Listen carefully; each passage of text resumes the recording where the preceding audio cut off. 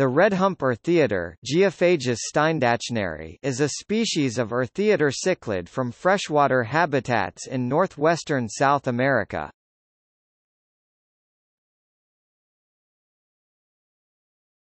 Topic: Distribution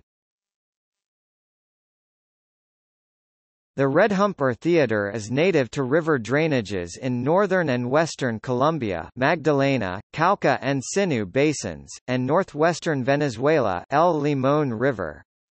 It lives in water that is slightly acidic to neutral 6.5 to 7.0 pico-henries and typically about 24 to 26 degrees Celsius 75 to 79 degrees Fahrenheit. It is stenohaline, found only in mainland freshwater environments.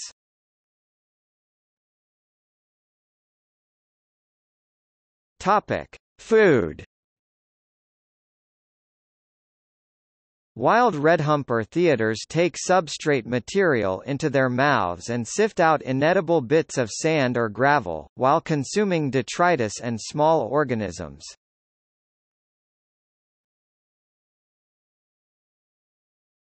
Topic: Reproduction.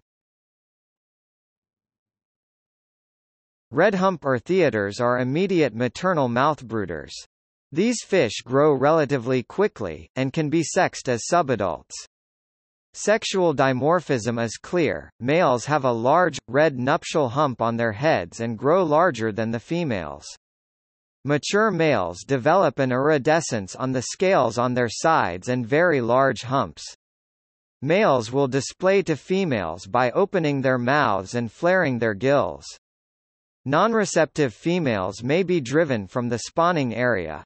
Spawning takes place on a smooth rock or clean sand bed. The female lays one or two eggs, then the male fertilizes them. The female immediately takes the fertilized eggs into her mouth and proceeds to lay more eggs. This continues until spawning is completed.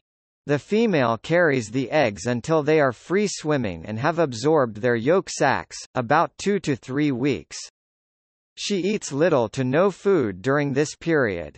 Eventually, she releases them and allows them to search for food, taking them back into her mouth when she feels threatened.